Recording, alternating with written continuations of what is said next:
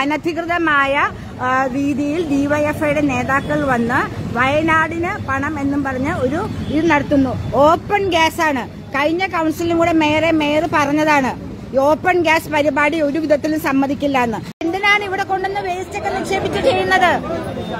ഏ? എന്തിനാണ് ചെയ്യുന്നത്?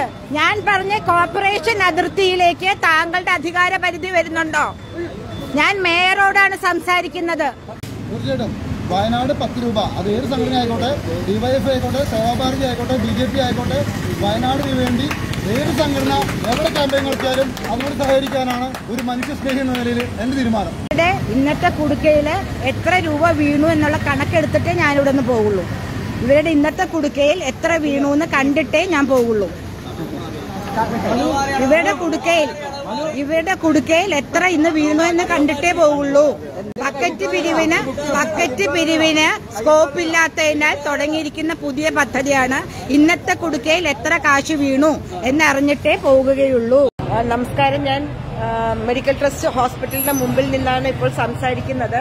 ഡിവൈഎഫ്ഐക്കാര് സൗത്ത് റെയിൽവേ സ്റ്റേഷനിലേക്ക് പോകുന്ന വഴിയോരം മുഴുവനും കയ്യേറി ഒരു തട്ടുകട നടത്തുകയായിരുന്നു. വയനാട്ടിലേക്ക് ഇരുപത്തഞ്ച് വീട് വെച്ച് കൊടുക്കാനാണെന്ന് പറഞ്ഞിട്ടായിരുന്നു. ഇതിന്റെ ലൈസൻസ് ഉണ്ടോ? ഓപ്പൺ ആയിട്ട് ഗ്യാസ് ഇരിക്കുന്നു എന്നൊക്കെ പറഞ്ഞപ്പോൾ ഞങ്ങൾക്ക് ഇഷ്ടമുള്ളതൊക്കെ ഞങ്ങൾ ചെയ്യും. ഞങ്ങൾ ഡിവൈഎഫ്ഐക്കാരാണ് ഭരിക്കുന്ന പാർട്ടിയുടെ ആൾക്കാരാണെന്ന് പറഞ്ഞു.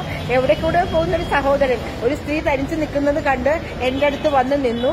അദ്ദേഹത്തിനെ അവർ പിടിച്ച് നിലത്ത് ഇട്ട് അടിച്ച് ഇടിച്ച് അദ്ദേഹത്തിന് തലയിൽ നല്ല ഹെമറേജ് വന്നിട്ടുണ്ട്.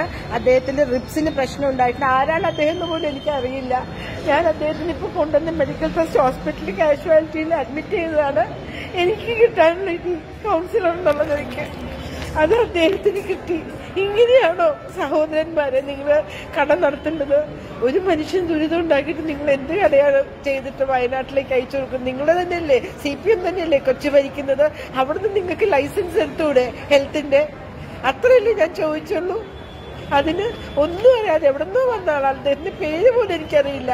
എന്റെ കൂടെ നിന്നു എന്നൊരൊറ്റ കാരണത്തിന് എന്റെ അടുത്ത് നിന്നു എന്നുള്ള ഒറ്റ കാരണത്തിന് നിങ്ങൾ ഇടിച്ച് തമ്പോറാക്കിയില്ലേ